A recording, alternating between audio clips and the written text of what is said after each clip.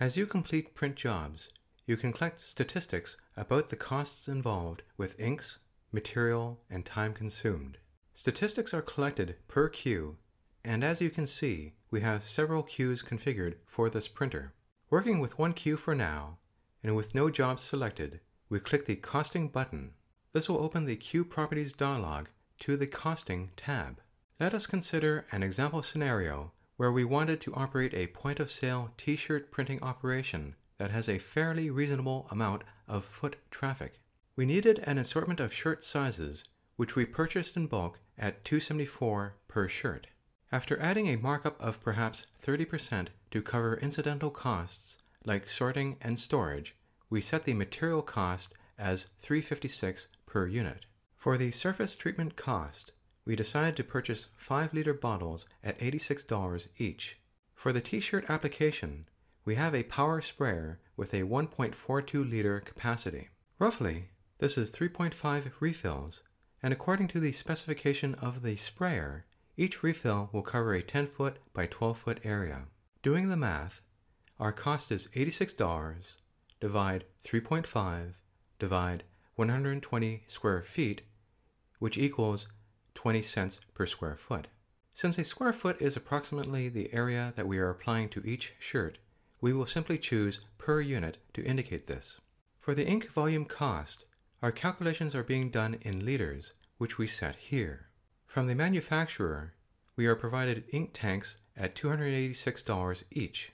In most cases, printing a job will involve a single pass. If you have changed the number of passes elsewhere in the queue settings, such as increasing the number of white passes in the smart bar, then you also need to indicate this on the Costing tab. Our ink contingency is a rough estimate for the amount of wastage that occurs when performing scheduled maintenance tasks. This would include things like the cost of printhead cleaning kits and flushing the ink tubes. Over time, you will develop a sense for what this percentage should be. A value of 5% would be considered minimum though 10% will probably be closer to what you will discover through ongoing usage of the machine. Labor cost takes into account all the work required, such as receiving and organizing supplies, pre-treatment, and packaging the finished item for shipping. Set the tax fields according to what is required in your region. If necessary, tax 2 can be set as an additive tax such that it includes the value of tax 1. Setting the time field is for information purposes only and is not used in any of the calculations.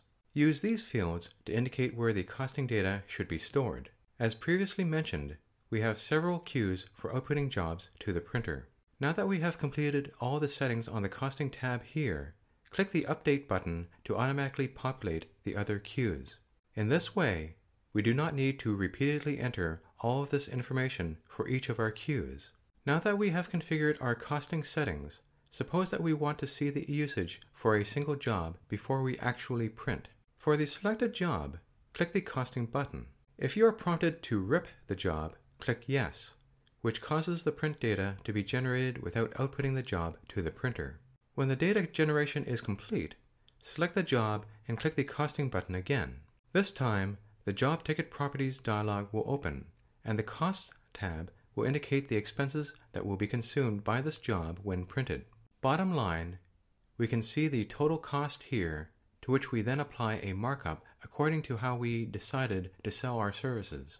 Clicking the Edit Cost button will open the Queue Properties dialog that is related to this job so that we can make comparisons with the Costing tab.